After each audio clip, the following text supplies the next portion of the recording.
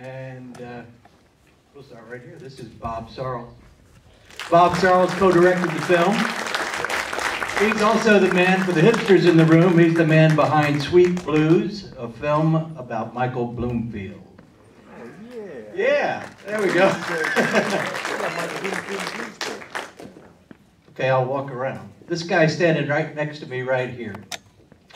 Tell Laura I love her, be my baby, baby I love you, and then he kissed me, chapel of love, the do-ron ron, do-ah diddy diddy, leader of the pack, sugar sugar, I honestly love you, and that's tip of the iceberg. Jeff Barry.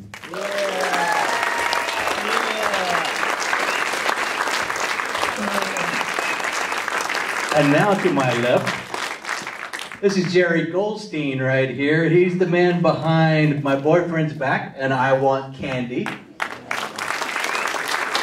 And here's the cool thing about this guy. He's not just a songwriter and a record producer. Among his productions includes a pretty good little LA band called War. Every album this man produced. The songs, Low Rider, why Can't We Be Friends? He co-wrote. Jerry Goldstein.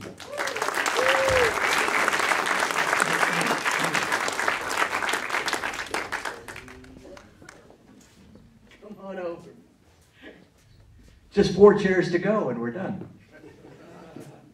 Among many, many others, this man right here has worked with Bobby Darin, Bette Midler, Bruce Springsteen, Carole King, as we know, Van Morrison, Robin Williams, and Adam Sandler. Regarding Van Morrison, there was an album he did that this man was the recording engineer for, which All Music Guide called one of the best albums in pop music history. For Van Morrison fans, two words, Astral Weeks. Brooks Arthur.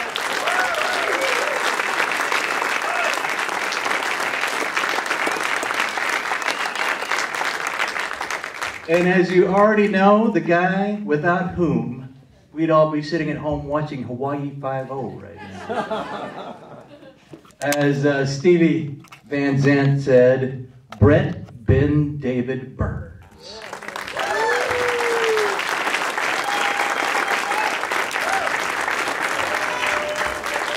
so it looks like we're only going to have two chairs.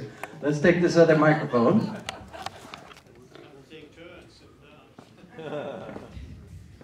Jeff, um, you got to tell some good stories in the film, but I'm sure there were a lot that got left out. Fill me in on at least one of them. Um, well, uh, Bert and I were best friends, and uh, it, it, wasn't really about business. Yeah, I was Ellie and I were producing Neil uh, Diamond for his label, but Bert and I used to. We had like matching BMW motorcycles, and we'd go on trips and crazy stuff upstate New York in the rain. And one, I think I, my bike got a flat one night. And I got on the back of his, and we ended up at some Italian restaurant upstate New York. And if you can imagine that these two soaking wet guys in motorcycle jackets come into this restaurant, they wanted no part of us. But Bert and I used to play pool all the time at a local pool hall in, in Manhattan. And if if you're Bert's friend and you forgot your wallet and you needed money, he'd give you a hundred bucks, two hundred, whatever, whatever, as I would with him. But if you played pool with him, we used to play a nickel a ball. And I remember once uh, he won and I owed him a quarter and I had no change. He made me go get change. he, he would forget if you owed him a hundred bucks, but he wanted that quarter. He would go, uh, is that a story? That's a very good story. Okay.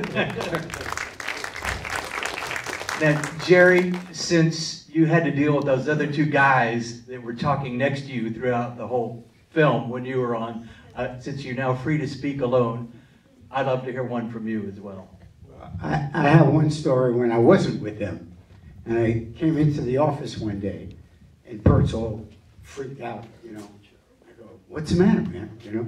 He goes, he point, he looks out the window and points, and it's the City Squire Hotel, right?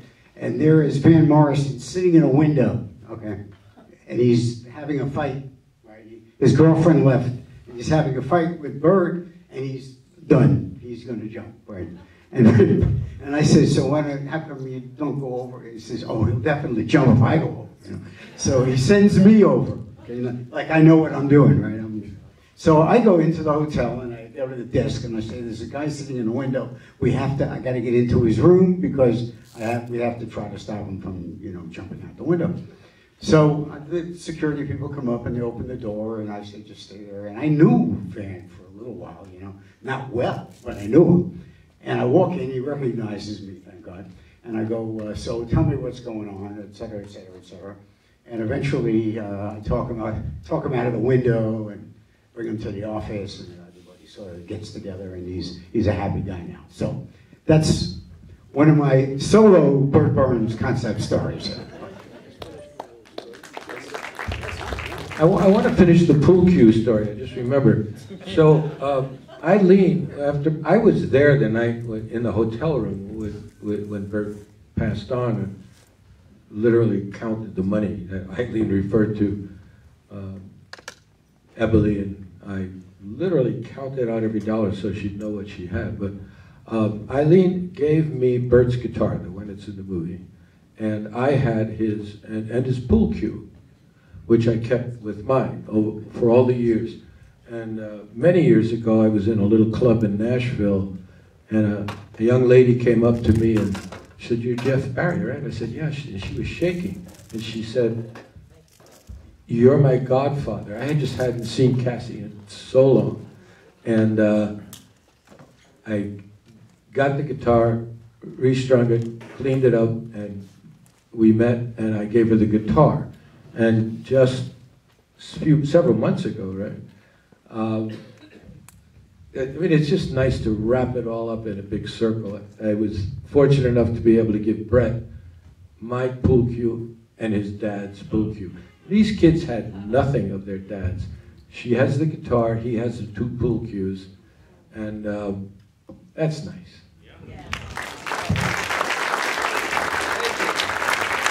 You want to do the same thing? You got a story got a that wasn't in stories, the... Okay, two, go two quick ones. But looking out at the audience, I just want to give all of us here on this side of it a shout out and a huge thank you to Everyone said, we've come a long way. And suddenly here it is. We made it. You know what I mean? It's a lot of doing. It's like a decade's worth of work. Thank you. You're very welcome. So, Bert loved the way I sang, but then again, I didn't love the way he sang. But, uh, and I was friendly with Freddie Scott from Hey Girl, and we used to write songs together at at Donnie Kirsh's office. Anyway, at the end of um, Are You Lonesome for Me, Babe?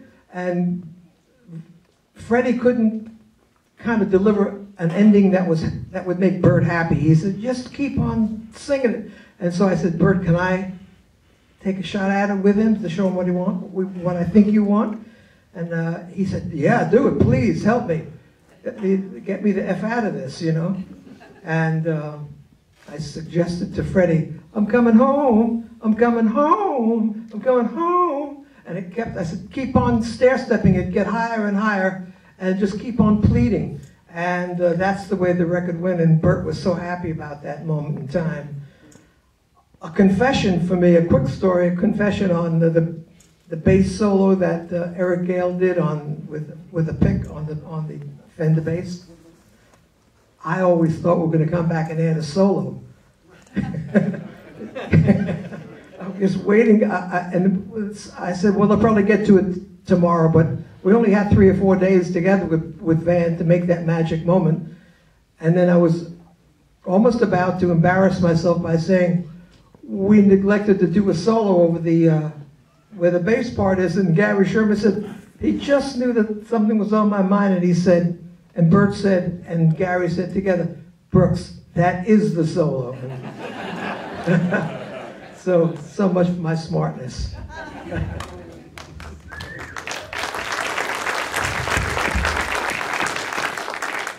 I learned a lot today. I just happened to um, hear about this radio show, Jonesy's Jukebox, which is on KLS, KLOS at noon, and uh, Brett was on. So I, I learned a lot about Brett today. Uh, for being there. including uh, Jimmy Page changing your diapers. Which, uh, who knew? I, I said it uh, when I thought we were off the uh, air. You know, I said, "Well, one of my claims to fame." I said, "Please don't mention that on the radio." And then the radio comes up. So, is it true that you know? And it was like, "Oh my God, that cat's out of the bag." Well, this is watching the film. Uh, I must say, your mother, Eileen, Wassel, Ellie Greenwich, Joel Dorn, Solomon Burke, Benny King, Jerry Ragovoy, and Wilson Pickett have all passed on since the film was finished. And it makes me wonder uh, how long did you work on this film? Yeah, no, um, it was uh, 10 years ago. I went to uh, see Freddie Scott with Wazzle at a, one of those oldies concerts, and I was so excited to meet Freddie. And um, we, we were hanging out backstage, and I was thinking about this film, and I said to Freddie, you know, I'm going to interview you for this documentary that I just was imagining. And then uh, a few weeks later, uh, he was gone. And it was really like a lightning bolt moment for me. I realized, oh my God, I've got to start interviewing these people. And so I didn't know anything about filmmaking. I just knew, you know, to find great people along the way.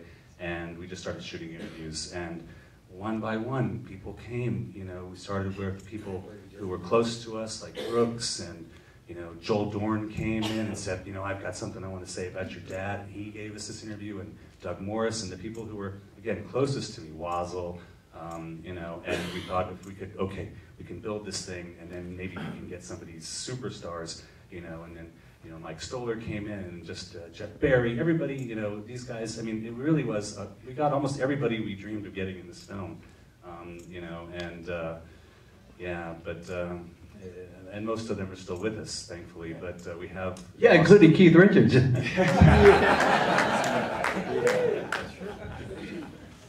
All right, I'll move down here so uh, Bob doesn't have to.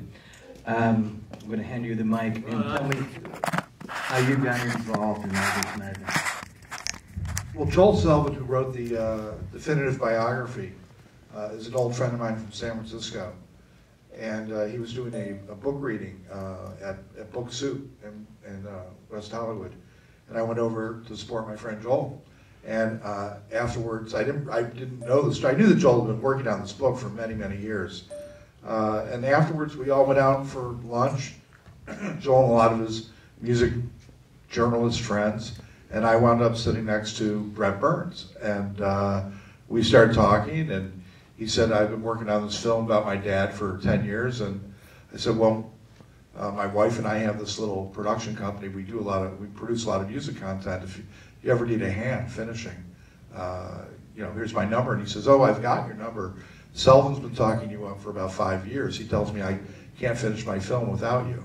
So that began a, a dialogue that lasted about uh, six months. Eventually, he invited me over to his office and showed me uh, a rough cut that he'd been working on, and I suggested some ways that I thought that we could uh, maybe approach it a little bit differently and and make and, and elevate it to something else. He he originally told me he, he thought that maybe he could hire me for a couple months and we could turn it into something that looked like a Ken Burns film, uh, which caused me to reach for my jacket and, and, say I didn't really have much interest in that.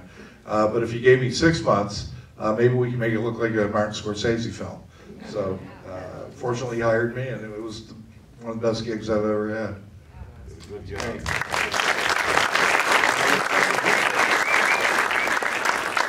Jeff, uh, speaking of Freddie Scott, uh, one of the songs that you wrote uh, with Bert was "Am I Grooving You," and you also uh, wrote uh, "I Got to Go Back" for the McCoys. Another you co-wrote with Bert. What was it like writing with him? What was what was your process, the two of you writing together? I, I guess it was it was like our friendship. We just it was just natural. He would be on the guitar and uh, out it came. I, I, I, I never do know where the songs come from. You know, there's a quick story about the uh, centipede walking along, and a spider comes up to him and says, uh, "Can I talk to you a second? And centipede stops and says, "Sure." And the spider says, "Look, I have eight legs, and I'm always going like, let's see, the second from the back and the one over there, and it's like crazy walking." And he says, "You have a hundred legs. How do you do it?" And the centipede thought for a minute and never moved again. so I don't know. We'd sit down, we'd have a, a shot of tequila or whatever, and he'd pull out the guitar and go, and we would write a song. It was. I've always wanted somebody to say exactly that. Because I've spent, I was the executive director of the Songwriters Hall of Fame for a few years. I spent a lot of time around songwriters, and every famous song ever written has an incredible story behind how the song came to be. And my entire life, I waited for somebody to say, hey, we just sat in a room and wrote a song. So thank you. I mean, I had a couple of those too, but they didn't involve Bert. So, Oh, yeah, well, on the subject of Jeff writing songs and, uh, and his then wife, the late great Ellie Greenwich, uh, they were a group called the Raindrops. Yeah. Uh, yeah, that's right. Respect. Uh, yeah, they would have had another big hit with that with that group too. It was co- the song called "That Boy John," but it was released around the time, exactly the time that JFK was shot. it jumped on the charts in 60, in, in up 60 something. It was huge. And the next week was off the charts. And then it was off the charts because radio pulled it. But the point I'm trying to make about titles and songwriting, I was so lucky to be so close to Jeff and Ellie. They sort of dubbed me their engineer. And uh, in a matter of uh, minutes, they on one album as the Raindrops, a little-known group and, and a lesser-known label called Jubilee. And lo and behold, they, they wrote songs called Dumb Ditty, uh, uh, Hanky Panky, and uh, What a Guy, Kind of Boy You Can't Forget, and on, there was like 10, 10 hits, on, uh, 10 hits for other people on that one album that they did literally in a nanosecond.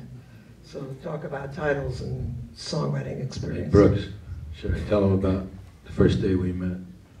Tell them about the first day we met. Sure, embarrassed. I went to do, no, I won't tell. Tell it, please. Okay. I, I went to a little demo studio called Dick Charles, and it, it was just a quick little demo. So it was in a tiny room. The booth was, I mean, literally six by four. It was, It was like a it was like a cell, and there was a new engineer, and um, I mean, I, I'm not a technical guy, but I know you have to plug stuff in, and and, and this this new engineer. He, would, he had the thing in his hand and he's looking at what they call a patch bay and you have to plug stuff in. And he's looking at it and his eyes are twirling and I said, you don't know what you're doing, do you? and he said, no, he talked himself into the job somehow. And we, we got through it and then uh, we opened the studio together. In- in- in- a couple of years later. At that studio, I might add that uh, we cut uh, Andy Kim, and you had a label called Steed Records. Oh, yeah. Cut a lot of hits of it, Little Century That's Sound. after Redbird, yeah.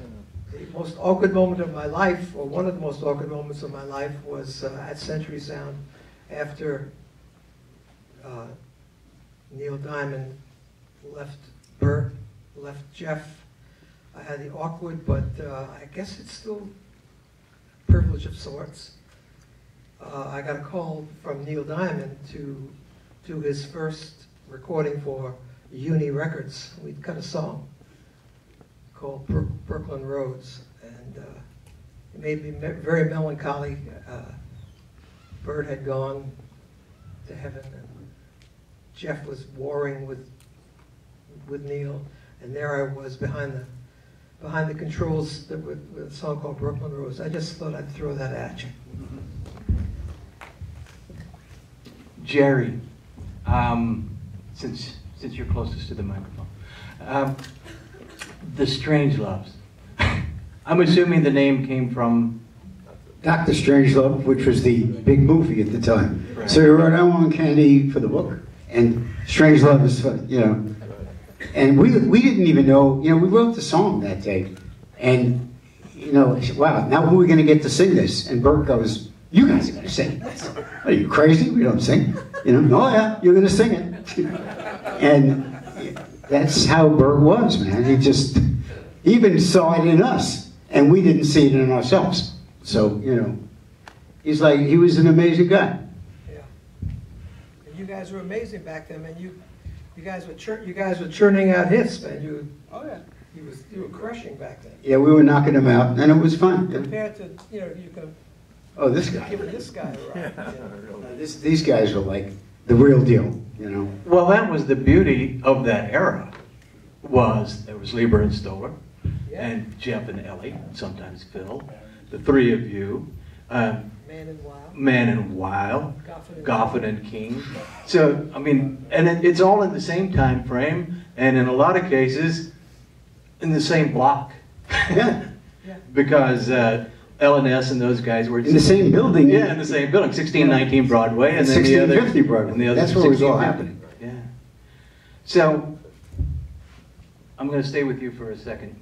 Um, I Want Candy is a perfect example of a copyright that has one of those lives that will not die. It's an industry, actually. There Talk are, there that. are years that we had like four commercials at the same time. You know, one for a candy, one for um, a diamond looking like candy, you know. You, you have the other part, so, you know. Um, Candy Crush, which I didn't even know what it was, you know. You know, I thought it was a drink. Um, so it became, you know, in one year we had four commercials. The, the, the song makes a fortune, you know, thing. I'm very happy about that.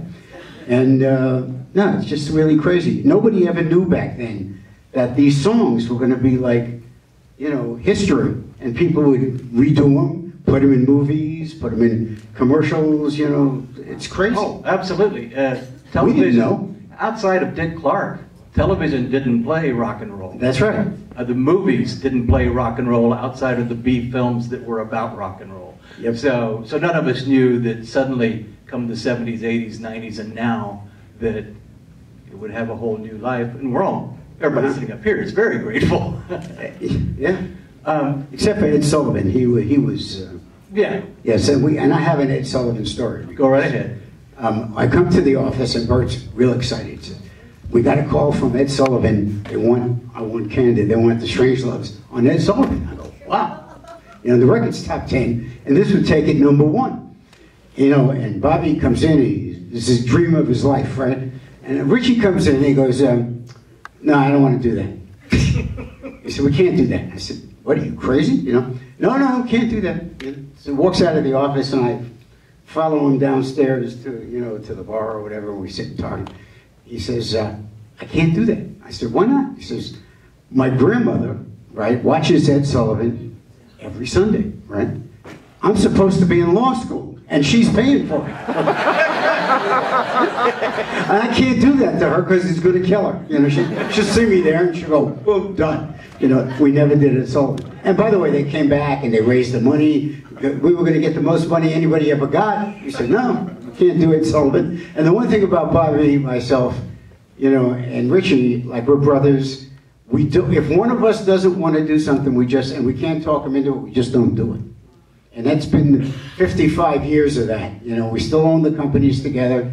You know, I was with Richie in New York last week for the movie. I was with Bobby because War played at Park in, in Miami, and Bobby showed up, and you know, and that's how we are. You know, but we don't. We're not doing Ed Sullivan. Sorry, Bert, we're not doing Ed Sullivan. Crazy, but we were that. We were crazy. So you know. Yeah, well, you know, I, okay, we've started down this road, so we'll do it. It's just your fault because you mentioned him. But now we're going to have to talk about everybody that's out there. I don't know if we have that kind of time, and you know we'll leave somebody out. But Billy Vera is here, another great songwriter. Oh, great. So it's good to have him. Yeah, yeah. There he is. Billy's got a new autobiography out. I highly recommend it. And Seymour Stein is here. There are so many people here. Seymour Stein. It. I'm not going to repeat that. Um, but I will give you the microphone and you can say what you want. I want you to tell us, Brooks, what it was like to be, once you weren't faking it anymore, what it was like to be in the studio in a Bert Berns session. Uh, and, and think about it in these terms. Was it live? Were there overdubs? Was it a case of you're trying to get three songs done in four hours, or four songs in three hours, rather? Tell me about that era and what you would be doing sitting behind the board. I don't mean to sound like I'm parroting you, but the, it, it, was exactly the pattern. The, uh, the business at hand was to nail three to four songs in, in a three-hour period. Hopefully not to go overtime because we've had very restricted budgets. And uh, the beautiful part about what was happening was that uh, 10 minutes before we were cutting a number one record with live musicians, many of these musicians never saw the song, heard the song, had a clue about the song, and suddenly, six takes later, or if it goes long, 11 takes later, lo and behold, you've got yourself a smash record. If it's not a smash record, a timeless record a record that, that lives forever. Uh, in the case of Bert, there was always electric in the air. The way he was described on screen with his racing heart and breathing that uh, Valsalva method, he would have a paper bag and put it to his mouth and uh, get that mixture of carbon, di carbon dioxide and oxygen flow so that he won't have those pains in his chest, but that's not making records. That was just the control room stuff. Uh, but it, it just, it, we were we were always on the edge of our seats with the Bert Berns record, with a handful of our uh, uh, people, I should say. But to make sure this was a no-nonsense session, and the musicianship and the choice of, of players, be it a drummer, be it a bass player, be it a keyboard guy, some of the guys you saw on screen, those were pivotal to every session. And we could nail three or four songs, and sometimes you got two hits in a, in, in a day, you know. And then you'd, at, at most, you'd overdub the strings. We were limited, we had four-track machines, so we'd bounce from four-track to four-track. And once you get that blend, once you get that quote-unquote balance, you stuck with it, you lived it, and you died with it because there was no no more room. This wasn't 32 track or 24 track where you could take care of it later. It was it was on the money or get out, you know. And then sometimes we'd have to overdub the strings and horns and merge those two guys together at another session. And uh, yeah, the operative terms here is uh, you had to be keenly aware of the surroundings, keenly aware of Bert and and uh, they were so exciting, the songs, the material, the artistry, the producers, the room. It was all electric and uh, you were sitting at the side, you were sitting on the edge of your seat. It wasn't just a lazy day hanging out hearing some good groovy music. This was serious shit. Were you like mixing virtually live? I was mixing virtually live. Uh, yeah. Yeah. Uh, I might add that though we were four track and four track, and I was describing it with various multi-track machines, we didn't pay much attention to stereo mixes. We were mixing mono, all mono. So we, it was a commitment. It was like, just, you, you had to commit. You just had to make a decision and commit. And uh, those records to this day sound tremendous uh, because they have that triangle where you hear the band in the back and as it starts to get to the lead singer, it triangulates apex in front of you, get that apex in front of you, and, and that vocal and or solo, guitar or horn or horn section just drives the record on home and drives the mix on home. Yeah. Wow, that's that. the best description I've ever heard.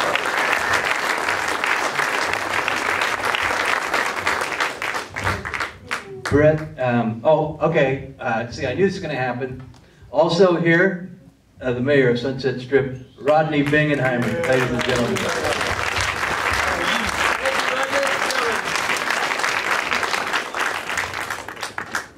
Okay, we have to do this. Uh, You got to tell me who got left out. Who did you want? Who who, who were you desperate to get? I, I, I know Jimmy Page would have been cool. And explain why why Jimmy was involved at all. Because Yeah, um, we got, I mean, almost everybody on our original wish, wish, wish list uh, in the film. Uh, it really was remarkable over the course of these 10 years. But um, Jimmy Page, who my dad, you know, he was a session player on those Van Morrison sessions on Baby Please Don't Go, and Here Comes the Night, that's Jimmy Page playing guitar.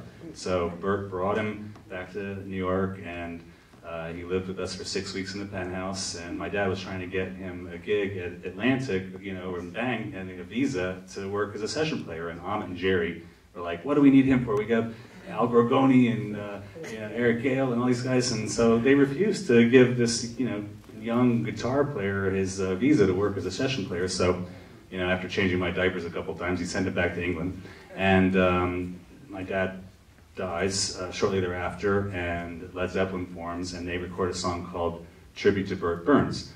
And uh, it was the only song on Led Zeppelin's first session uh, album that didn't uh, make the cut. And I always wanted to ask Jimmy why that was the case, and I guess it because after what you see, what happened here with the uh, Atlantic guys, you know, there wasn't going to be a song called Tribute to Bert Berns on there, Break Me Lack. So, um, but it came out in '93 as a, a derivative uh, work with Jimmy Page, Bert Berns, and Robert Plant, uh, "Baby Come On Home." So, uh, yeah, and the other big, uh, you know, obvious uh, Neil Diamond, you know. Um, uh, it wasn't for lack of trying, um, but uh, I also knew that Neil doesn't do these kind of things, and he's very private, and um, so I wasn't, you know, holding my breath. But we tried, and uh, you know, it's it's understandable on some levels. You know, he um, this is a difficult subject matter. He doesn't do these kind of documentaries, but neither does Van Morrison, and he stepped forward. So, you know, it's um, uh, you know, it would have been great. If, yeah. And and let's talk about that. I mean, I assume there are some Van Morrison fans in the house. I assume I'm not the only one sitting here going, "Gee, you met Van Morrison and you worked with Van Morrison." Um, and you sang background vocals. Huh. And uh, so they cut me off. You might need a new battery. Does that mean we're done? Couldn't you. Oh, look at that. Thanks so much, everybody.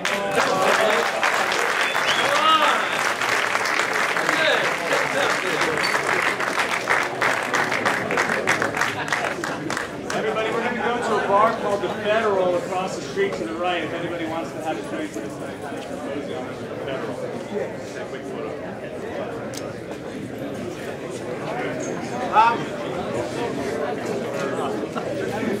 Hey, that's rock and roll, baby. Hold that for me, guys.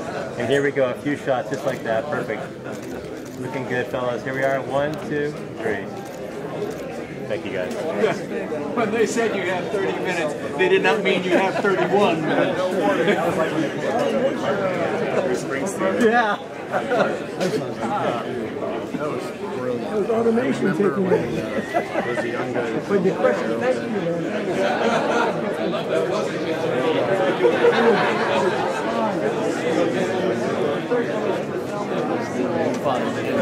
Heartbreaking at the end. I mean, it's just, and that's, that's a sign of a good film. When it can still get.